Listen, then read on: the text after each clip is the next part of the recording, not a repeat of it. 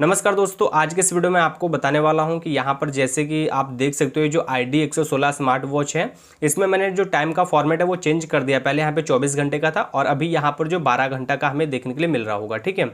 तो दोस्तों, ये जो मैंने अभी टाइम का फॉर्मेट चेंज किया, ये मैंने कैसे चेंज किया, आज के इस वीडियो में आपको बताने वाला हूँ।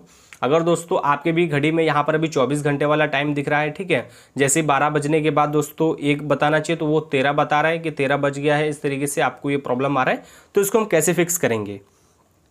तो दोस्तों, इसके लिए आपको सिंपल सा आपका ये जो फिट प्रो एप्लीकेशन है, इसको आपको ओपन करना है। ओपन करने के बाद दोस्तों, यहाँ पर आपको स्क्रॉल करके नीचे आना और यहाँ पर रीसेट डिवाइस का एक ऑप्शन मिलता है। यहाँ पर क्लिक करना और कन्फर्म पे क्लिक कर देना होगा, ठीक है?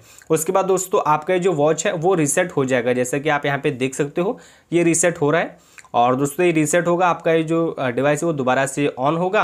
अब दोस्तों यहाँ पर आपको जो कि इसको कनेक्ट कर लेना होगा। मेरा भी ऑलरेडी कनेक्ट हो गया है और आपका अगर कनेक्ट नहीं होता तो आप इसको कनेक्ट कर लीजिएगा और आपका जो टाइम का फॉर्मेट है वो चेंज हो जाएगा। लेकिन दोस्तों कभी कभी ये आपका टाइम अगर चेंज नहीं होता, आपके केस में अगर, ठीक है?